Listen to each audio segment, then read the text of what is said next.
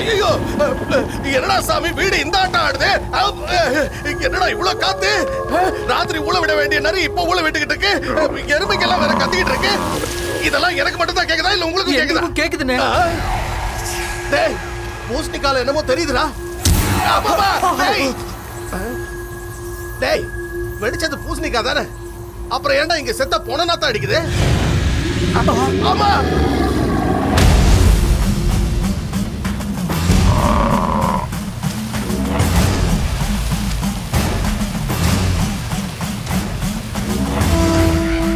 சுடுகாட்டுல இறங்கிட்டு இருக்கும்போது பாதியில இருந்து வரனா? ஏய், அவன் யாரு நினைச்ச?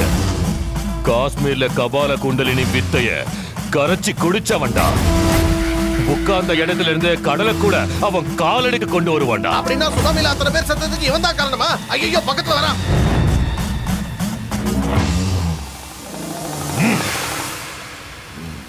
வா குண்டலிகா உள்ள வா.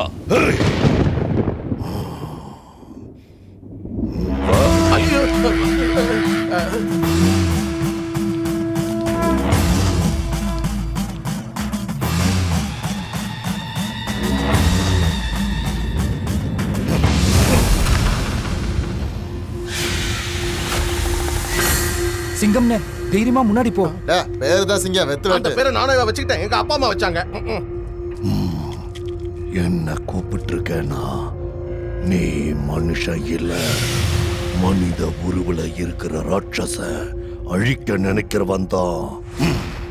என் உதவி வேணும்னு கேட்பான் கம் கபாலா குண்டலினாம் செண்டாலி ஜபாலா. கூப்பிட்ட விஷயமும் நடந்த விஷயமும் என்னன்னு சொன்னா நடக்க வேண்டிய விஷயத்தை நான் சொல்லுவேன். எந்த விஷயத்தை மறைச்சாலும் உனக்கு தான் நஷ்டம். நிஜத்துல நடந்தது எதையும் மறைக்காம உண்மையா என்ன நடந்ததுன்னு எனக்கு தெரியணும். சொல்லுடா. சொல்லு.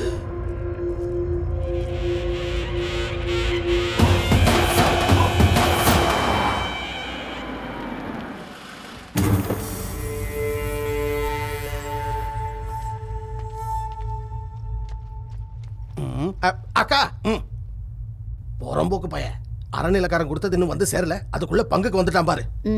ஆ வாங்க சார். வாங்க. ம் ம். வாங்க. வணக்கம் சார். உட்காருங்க சார். உட்காருங்க.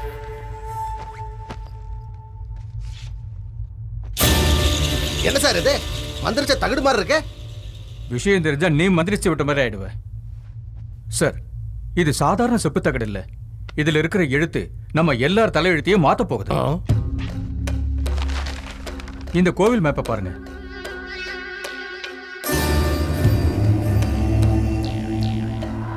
இது நம்ம ஊர் கோயில் தானே? ஆமாமா கையில வெண்ணெய் வச்சுக்கிட்டு நெய் கலஞ்ச கதையா? புதையலுக்காக நான் எங்கெங்கேயோ தோண்டினேன். இது நம்ம ஊர் துர்காதேவி கோவில். இந்த கருவறைக்கு கீழே பல கோடி ரூபாய் மதிப்புள்ள தங்கமும் வைரமும் கொட்டி கிடக்கு. என்ன தங்கமா? இந்த விஷயத்தை கவர்மெண்ட்ல சொன்னா ஒரு கிராம்ல கோல்டு மெடல் தருவாங்க. அதே நாம தோண்டினா பல கோடி ரூபாய் மதிப்புள்ள தங்கம் நமக்கு கிடைக்கும். இந்த விஷயம் என்ன தவிர டிபார்ட்மெண்ட்டுக்கோ வெளியாளுக்கோ யாருக்கும் தெரியாது. தெரியக்கூடாது.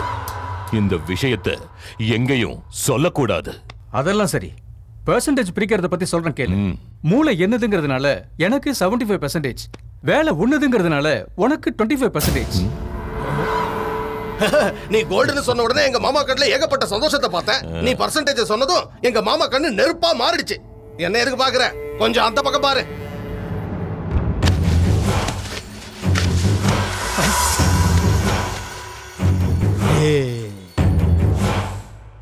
சார் புதையல் வேணும்னா கோவிலை மூடணும். உங்க கஷ்டம் உங்களுக்கு இருக்கும். 50 50 ஓகேவா சார். டேய் அந்த கத்தியை குடுறா. ஆபீசர் இங்க வாங்க. இந்த கத்தி மூணு அடி மூணு மூணு மூணு ஆறு ஆறு மூணு. அப்பா ஆறு அடிக்கு மேலேயே இருக்கீங்களே. என்ன சார்? எதுக்கு அளவு அது எங்க மாமா கண்ணுல சந்தோஷத்தை பார்க்க நான் எல்லாரையும் இப்படிதான் அளவெடுப்பேன். புதைக்கிறதுக்கு. வேண்டாம் சார் வேண்டாம். சார் நாலு வருஷம் கஷ்டப்பட்டு ரிசர்ச் பண்ணேன். எனக்கு ஏதாவது கிடைக்கணும்ல? எனக்கு 25 ஃபைவ் உங்களுக்கு 75 ஃபைவ் மாமா இந்த டீலிங் நல்லா இருக்கு. ஒத்துக்கோங்க. நீ தொடச்சுக்க. அடுத்து மாமாக்கு என்ன பிசினஸ் தெரியாது நினைச்சியா?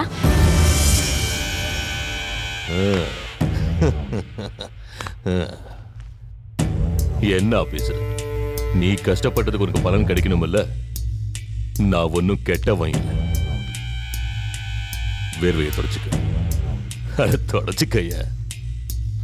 ம் உட்கார் உனக்கு தெரிஞ்சதை எனக்கு சொல்லி நீ தப்பு பண்ணிட்ட. ஆனா அதே தப்ப நான் செய்ய மாட்டேன்.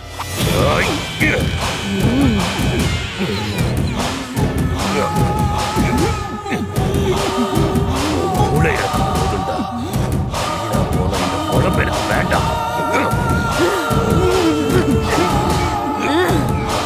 அப்படிதான் மாமா சங்க நேரே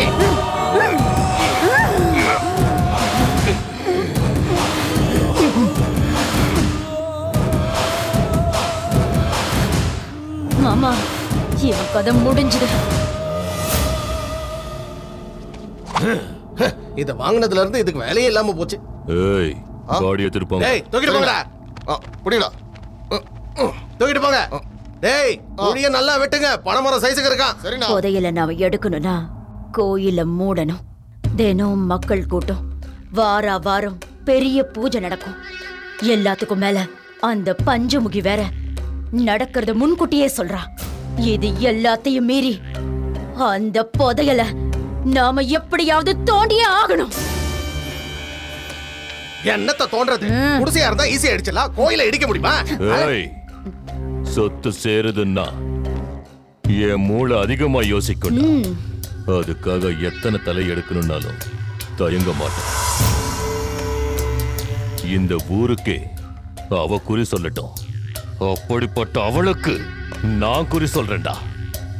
அப்படின்னா பஞ்சமுக்கிய கொல்ல போறீங்களா? அண்ணா வேண்டாண்ணா.